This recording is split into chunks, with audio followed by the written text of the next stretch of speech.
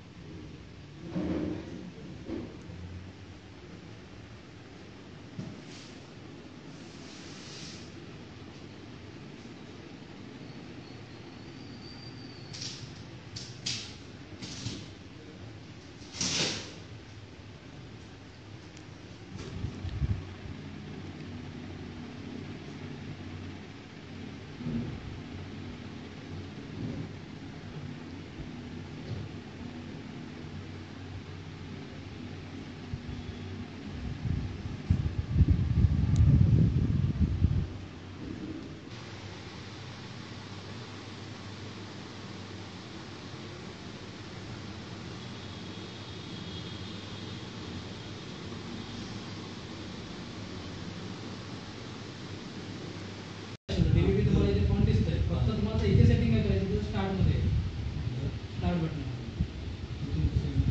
हे काही खाली बघा ना आकाश इथे क्लिक केलं की ते कॉल करू कॉल तर तुम्हाला माहिती आहे हाँ।